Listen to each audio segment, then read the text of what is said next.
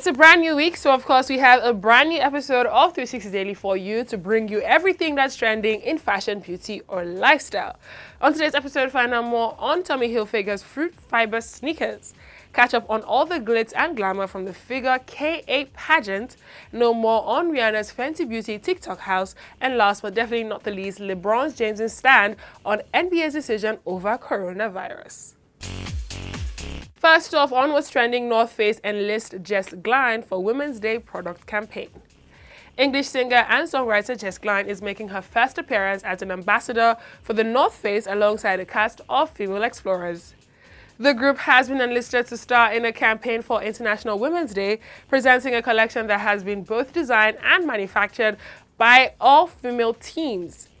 Captured by British photographer and filmmaker Holly Marie Cato, the campaign shares stories of remarkable women, including freeride world champion Marion Haerty, London-based adventurer Sophia Jean, and stunt actress Marie Morum. Every woman in the group has challenged the status quo and pushed the boundaries for women, be it music, arts, business, or sports, the North Face said.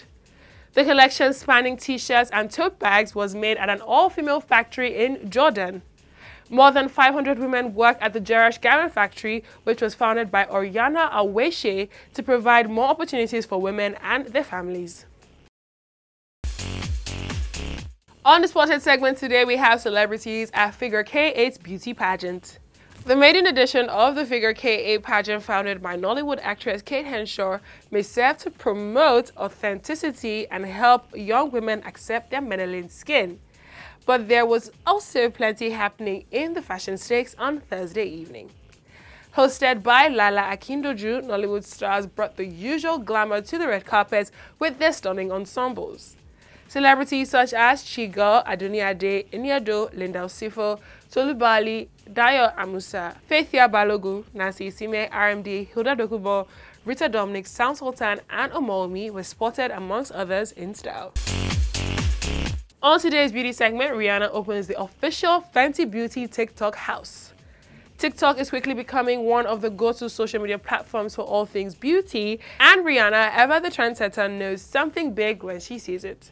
That's why the musician and creator of the widely successful Fenty Beauty line is making it even easier for creators to share their love of Fenty with a brand new Fenty Beauty TikTok house, a destination for all things Stunna lip paint, Match Stix, and Killawatt highlighter. According to Days, Rihanna debuted the new TikTok house in LA and it comes complete with a pool and tons of video-ready natural lights and mirrors.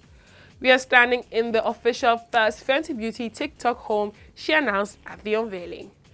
I just wanted to create a platform for the next wave of content creators.